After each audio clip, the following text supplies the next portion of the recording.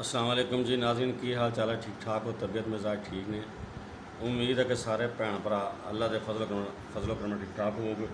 ਅੱਜ ਨਾ ਗਰਮੀ ਬਹੁਤ ਜ਼ਿਆਦਾ। ਹਬਸ ਹੀ ਬਣੀ ਅੱਲਾ ਖੈਰ ਕਰੇ। ਅੱਲਾ ਮੀਆਂ ਹਲਕੀ ਫੁਲਕੀ ਬਾਰਿਸ਼ ਪਾ ਦੇਵੇ ਤੇ ਮੌਸਮ ਕੁਝ ਬਿਹਤਰ ਹੋ ਜਾਏ। ਬਾਹਰ ਨਿਕਲਣਾ ਬਹੁਤ ਮੁਸ਼ਕਿਲ ਹੋ ਗਿਆ। ਤੇ ਬਸ ਨਾ, ਦਿਨ ਬ ਦਿਨ ਕੰਮ ਸਖਤ ਹੀ ਹੁੰਦਾ ਜਾ ਰਿਹਾ। ਤੇ ਇਹਦਾ ਇਹਦੇ ਨਾਲ ਨਾਲ ਹੀ ਨਾ ਹਾਲਾਤ ਵੀ ਤਬਦੀਲ ਹੁੰਦੇ ਜਾ ਰਹੇ ਆ। ਪਹਿਲੇ ਲੋਕ ਜਿਹੜੇ ਨਾ ਕਿਸੇ ਚੋਰੀ ਹੋ ਜਾਣੀ, ਜਨਾਬ ਡੰਗਰ ਖੋਲ ਕੇ ਲੈ ਜਾਣੇ, ਗਾਂ ਜਾਂ ਮੱਝ ਕੋਈ ਚੀਜ਼, ਤੇ ਜਨਾਬ ਉਹ, ਉਹਦਾ ਖੁਰਾ ਚੁੱਕਣਾ, ਲੱਭਦਿਆਂ ਲੱਭਦਿਆਂ ਕਈ ਦਿਨ ਲੱਗ ਜਾਣੇ। ਹੁਣ ਤਾਂ ਚੋਰੀ ਮਾਡਰਨ ਆ ਗਏ ਆ। ਸਾਡੇ ਲਾਗੇ ਇੱਕ ਪਿੰਡ ਹੈ ਤੇ ਗਰਮੀਆਂ 'ਚ ਨਾ ਲੋਕ ਪਿੰਡ ਦੇ ਸਾਈਡ ਤੇ ਖਾਲਾ ਤੇ ਉੱਥੇ ਦਸਤ ਵਾਵਾ ਸਾਰੇ ਹੈਗੇ ਆ। ਤੇ ਉੱਥੇ ਸਾਰੇ ਫਿਰ ਡੰਗਰ ਡੁੰਗਰ ਲੋਕ ਨਾ ਛਾਵੇਂ ਬੰਨ ਕੇ ਆ ਜਾਂਦੇ ਆ। ਆ ਥੋੜ੍ਹੇ ਦਿਨਾਂ ਦੀ ਗੱਲ ਹੈ ਜਨਾ ਇੱਕ ਪੁਰਾਣੀ ਕਰੋਲਾ ਕਾਰ ਸੀਗੀ। ਬੰਦੇ ਉੱਥੋਂ ਆਏ। ਪਿੰਡ ਦੇ ਇੱਕ ਸਾਈਡ ਤੇ ਡੰਗਰ ਬੰਨੇ ਹੋਏ ਸੀਗੇ। ਉਹਨਾਂ ਨੇ ਗਾਂ ਖੋਲੀ ਕਾਰ ਦੀ ਡਿੱਗੀ 'ਚ ਪਾਈ ਤੇ ਪਿੰਡ ਦੇ ਵਿੱਚੋਂ ਗੁਜ਼ਰ ਕੇ ਗਏ। ਲੋਕਾਂ ਨੇ ਦੇਖਿਆ ਵਸੀਰ ਲੋਕਾਂ ਇਹ ਸਮਝਿਆ ਕਿ ਕਸਾਈ ਨੇ ਕੋਈ ਤੇ ਤਾਂ ਗਾਂ ਲੱਦੀ ਫਿਰਦੇ ਨੇ। ਕਿਸੇ ਨੇ ਪੁੱਛਿਆ, ਕਿਸੇ ਨੇ ਗੱਲਬਾਤ ਨਾ ਕੀਤੀ।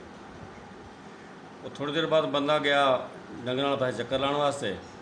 ਅੱਗੇ ਗਿਆ ਉਹਦੀ ਗਾਂ ਕੋਈ ਨਾ। ਉਹ ਨੱਸ ਕੇ ਆਇਆ, ਘਰ ਰੌਲਾ ਛੋਲਾ ਪਾਇਆ, ਬੰਦੇ ਇਕੱਠੇ ਹੋਏ। ਤੇ ਉਹ ਪਿੰਡ 'ਚ ਨਾ ਹੋਟਲ ਵਾਵਾ ਸਾਰੇ ਬਣੇ ਨੇ। ਲੋਕ ਹੋਟਲ ਤੇ ਬੈਠੇ ਸੀ, ਪੁੱਛਿਆ ਉਹਨਾਂ ਕਹਾ ਹਾਂ ਯਾਰ, ਹੁਣ ਤਾਂ ਵਾਹਵਾ ਦੇਰ ਹੋ ਗਈ ਆ ਤੇ ਇੱਕ ਨਾ ਇਦਾਂ ਲਾਲ ਰੰਗ ਦੀ ਗੱਡੀ ਸੀਗੀ। ਕਰੋਲਾ ਗੱਡੀ, ਪੁਰਾਣੀ ਗੱਡੀ ਸੀ। ਉਹ ਅਸੀਂ ਦੇਖਿਆ ਕੋਈ ਡਿੱਗੀ ਸੀ, ਗਾਂ ਸੀਗੀ ਲੈ ਕੇ ਜਾ ਰਹੇ। ਖੈਰ ਨਾ ਮੋਟਰਸਾਈਕਲ ਕੱਢੇ, ਕੱਢ ਗੁੱਡ ਕੇ, ਨਸ ਭੱਜ ਗਈ ਦੀ ਕੋਈ ਪਤਾ ਨਾ ਲੱਗਾ।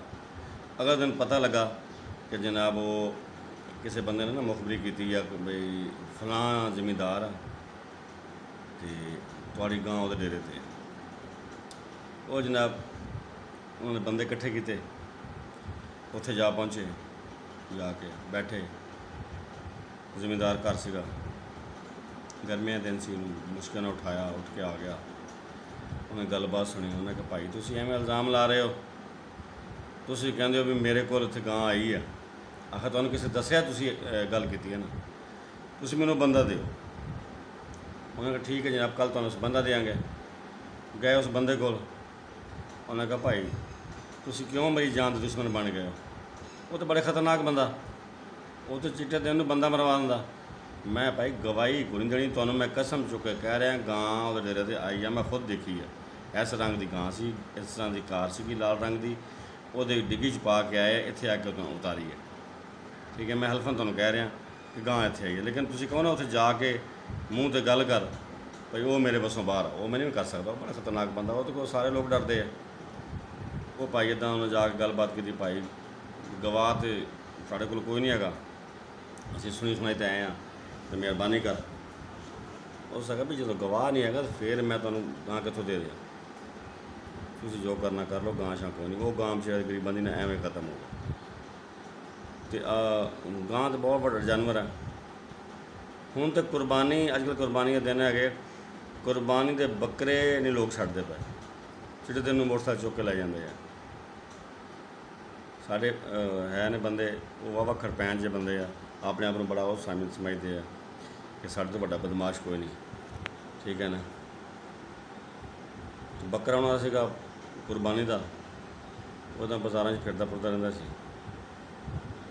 ਇੱਕ ਦਿਨ ਕੋਈ ਬੱਕਰਾ ਚੁੱਕ ਕੇ ਲੈ ਗਿਆ ਉਹਨਾਂ ਦਾ। ਉਹ ਬੜੀ ਨਸਬਜ ਕੀਤੀ ਉਹਨਾਂ ਨੇ, ਮੋਟਰਸਾਈਕਲ ਉਹਨਾਂ ਕੋਲ ਹੈ ਸੀ 125 ਕੱਢ ਕੇ ਇਹਦੇ ਐਨ ਨੂੰ ਜਾ ਐਂ ਨੂੰ ਜਾ, ਅਸਲਾ ਚੁੱਕਿਆ, ਰੈਫਲਾਂ ਚੁੱਕੀਆਂ। ਜਿਹੜੇ ਲੈ ਗਏ, ਉਹ ਹੁਣ ਵਾਪਸ ਕਰਨ ਵਾਸਤੇ ਥੋੜੀ ਲੈ ਗਏ ਆ। ਉਹ ਇਹ ਨਹੀਂ ਪਤਾ ਕੌਣ ਸੀਗੇ, ਕਿਵੇਂ ਲੈ ਗਏ। ਦੱਸਿਆ ਲੋਕਾਂ ਨੇ ਕਿ ਅਸੀਂ ਦੇਖਿਆ ਜੀ, ਫਲਾਣਾ ਟਾਈਮ ਇਸ ਰੰਗ ਦਾ ਬੱਕਰਾ ਸੀ, ਤੇ ਮੋਟਰਸਾਈਕਲ ਲੱਦੀ ਜੀ 125 ਮੋਟਰਸਾਈਕਲ ਸੀ, ਉਹ ਤੇ ਲੱਦੀ ਜਾ ਰਹੀ ਸੀ। ਹਾਲਾਤ ਇਦਾਂ ਦੇ ਮਾੜੇ ਹੋ ਗਏ ਆ, ਗੁਰਬਤਾਂ ਛਾ ਗਈਆਂ ਲੋਕ ਇਹਨਾਂ ਕੰਮਾਂ ਤੇ ਪੈ ਗਏ ਆ। ਬਸ ਦੁਆ ਕਰੋ ਅੱਲਾਹ ਤਾਲਾ ਕਰਮ ਕਰੇ ਅੱਲਾਹ ਤਾਲਾ ਸਾਰਿਆਂ ਨੂੰ ਇਮਾਨ ਦੇਵੇ ਕਿ ਕੇ ਹਲਾਲ ਖਾਣ ਦੀ ਕੋਸ਼ਿਸ਼ ਕਰਨ। ਤੇ ਅੱਲਾਹ ਤਾਲਾ ਅਸਲ 'ਚ ਨਾ ਨਿਜ਼ਾਮ ਸਾਰਾ ਇਹੀ ਹੈ ਕਿ ਜਦੋਂ ਦੇਖੋ ਚੋਰੀ ਜਿਹੜੀ ਹੈ ਨਾ ਚੋਰੀ ਇਹ ਬੰਦਾ ਖੁਸ਼ੀ ਨਾਲ ਨਹੀਂ ਕਰਦਾ ਮਜਬੂਰ ਹੋ ਕੇ ਕਰਦਾ। ਇਹ ਨਹੀਂ ਕਿ ਮੈਂ ਚੋਰੀ ਕਰਨ ਦੇ ਜਿਹੜਾ ਪੇਸ਼ਾ ਵਾ ਇਹਨੂੰ ਡਿਫੈਂਡ ਕਰ ਰਿਹਾ ਨਹੀਂ ਨਹੀਂ। ਗਲਤ ਕਰ ਰਹੇ, ਚੋਰ ਜਿਹੜੇ ਕਰਦੇ ਆ।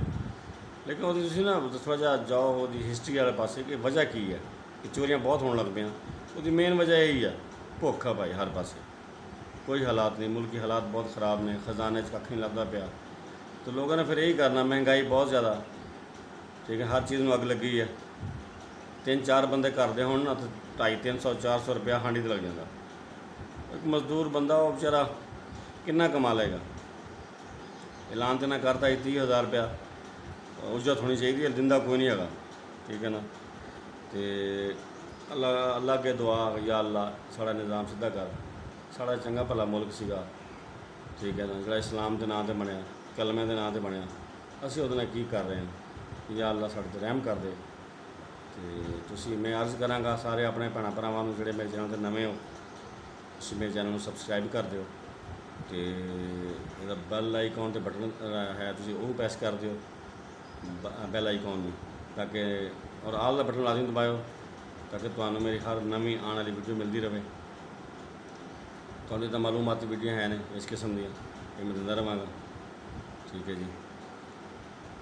ਤੇ ਬਸ ਅੱਲਾ ਅਸੀਂ ਸਾਰਿਆਂ ਦੀ ਹਿਫਾਜ਼ਤ ਫਰਮਾਵੇ।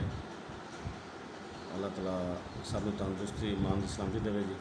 ਹੁਣ ਇਨਸ਼ਾਅੱਲਾ ਇਜਾਜ਼ਤ ਇਜਾਜ਼ਤ ਦਿਓਗੇ, ਮੁਲਾਕਾਤ ਹੋਏਗੀ ਇਨਸ਼ਾਅੱਲਾ ਜਨਾਬ। ਅਗਲੀ ਵੀਡੀਓ 'ਚ ਉਸ ਵਕਤ ਇਜਾਜ਼ਤ, ਸੋਹਣੇ ਰੱਬ ਦੇ ਹਵਾਲੇ। ਅਸਲਾਮ ਵਾਲੇਕੁਮ ਵਰਹਿਮਤੁਲਲਾਹ